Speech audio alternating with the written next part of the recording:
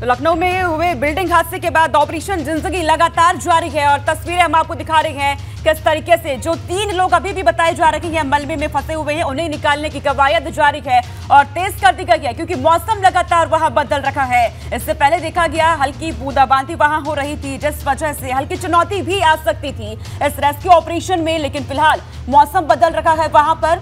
इन सबके बीच ऑपरेशन को और बढ़ा दिया गया है। कवायद और तेज कर दी गई है। वीरेश वहाँ पर लगातार बने हुए हैं।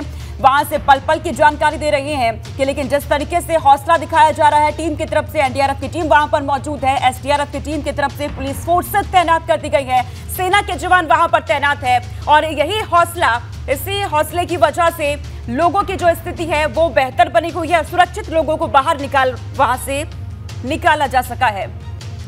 और देखिए तेरह घंटे पूरे हो चुके हैं उनतीस मिनट और अभी भी रेस्क्यू ऑपरेशन जो है वो जारी है।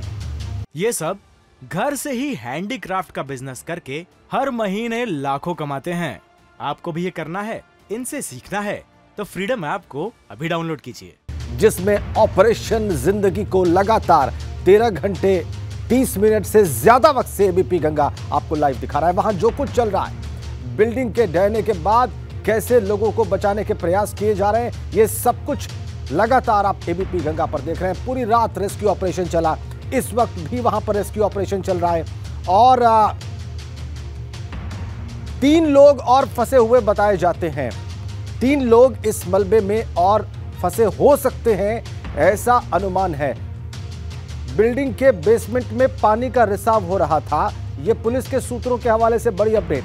पाइप डलवाने के लिए तीन दिनों से वहाँ पर ड्रिलिंग चल रही थी और बेसमेंट में कमरे का भी निर्माण कराया जा रहा था।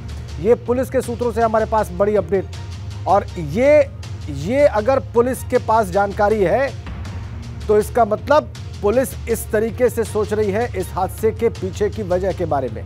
पाइप डलवाने के लिए तीन दिनों से वहाँ पर ड्रिलिंग चल रही थी और बेसमेंट में कमरे का भी निर्माण कराया जा रहा था। तो बिल्डिंग का निर्माण तो अवैध हुआ ही था। यहाँ पर देखिए किस तरह से चीज़ें आगे बढ़ रही थी।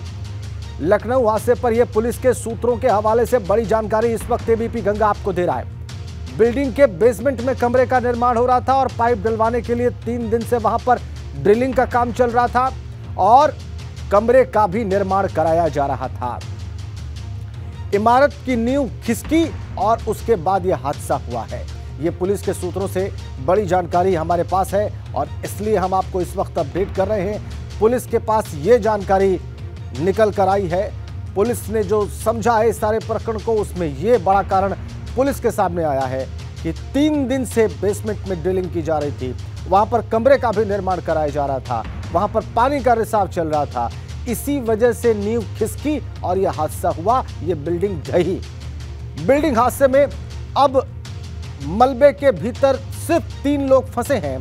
ऐसा वहाँ पर रेस्क्यू ऑपरेशन में लगे लोगों का कहना है। ऐसा अथॉरिटीज का मानना है कि तीन लोग और फंसे हो सकते हैं और उनको निकालने के लिए वहाँ पर प्रयास किया जा रहा है। चौदह लोगों को सुरक्षित निकाल लिया गया है। एनडीआरएफ, एसडीआरएफ और सेना, ये सब मिलकर वहाँ पर ऑपरेशन ज़िंदगी में इन्वॉल्व हैं। लोगों की जान बचाने के प्रयास कर रहे हैं। और एबीपी गंगा लगातार आपको तस्वीरें दिखा रहा है तेरह घंटे पैंतीस मिनट से। ये सब घर से ही हैंडीक्राफ्ट का बिज़नेस करके हर महीने लाखों कमाते हैं। आपको भी ये करना है इनसे सीखना है तो फ्रीडम ऐप को अभी डाउनलोड कीजिए।